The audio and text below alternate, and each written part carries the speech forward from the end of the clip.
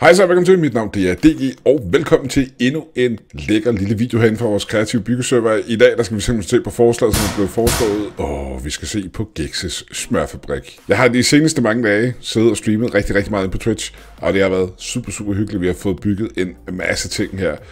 Men det vi har fået bygget på den seneste stream, det var jo denne her lækre lille smørfabrik. Og hvis man ikke har set streamen, så skal jeg nok lægge et link til den nede i beskrivelsen, så man kan gå ind og tjekke den ud inde på Twitch og gense den derinde.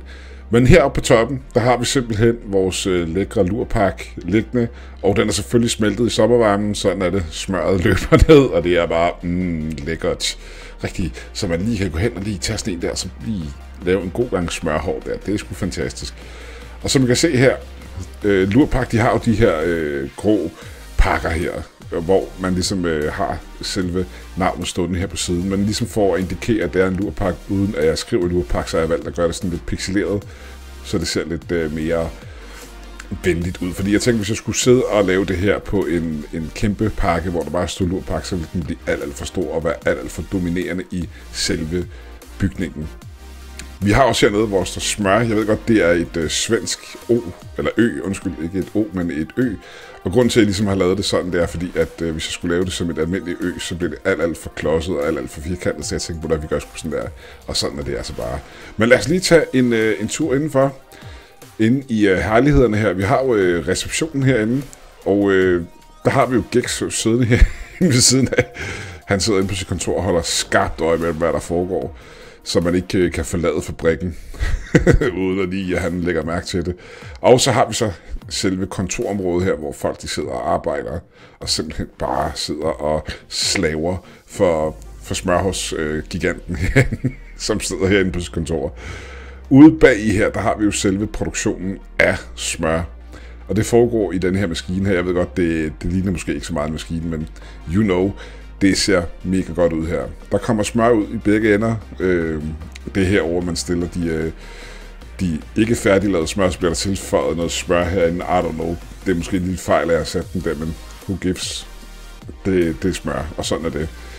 Og herinde ved siden af, der har vi så selve, øh, hvad hedder det, hvad kan man kalde det, øh, loading docken, hvor øh, lastbilerne kører ind og ligesom øh, kommer ind med, med smøret her, og så bliver det læsset på lastbilen, og så bliver det så kørt ud i byen herude. Og så har vi så simpelthen vores øh, ene lastbil stående herude, og det er simpelthen chatten, der har bestemt farven.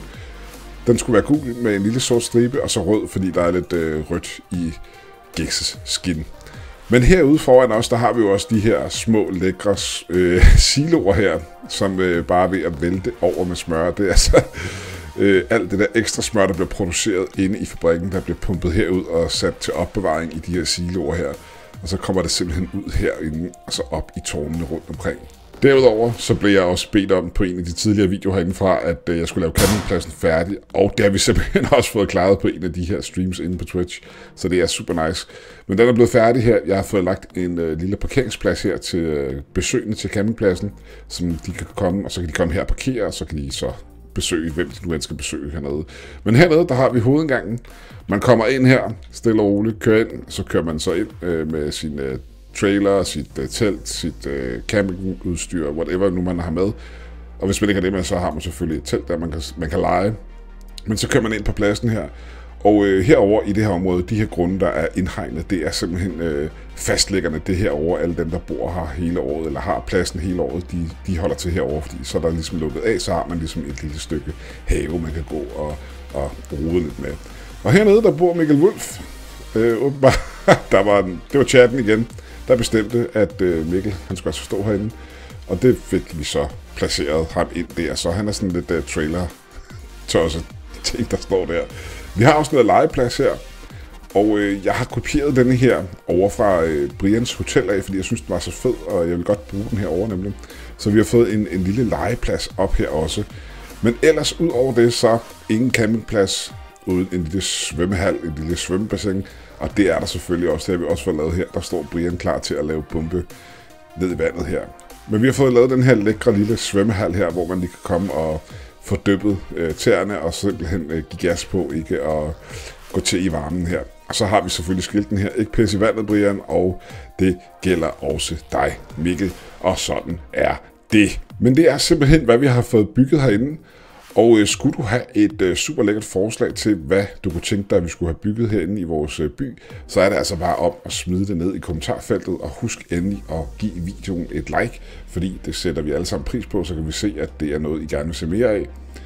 Og ellers, så husk også at tjekke ud og øh, følg mig ind på min øh, Twitch-kanal, fordi det er derinde, jeg går live, det er derinde, jeg sidder og bygger her øh, med de her kæmpe kreationer, vi har fået lavet indtil videre.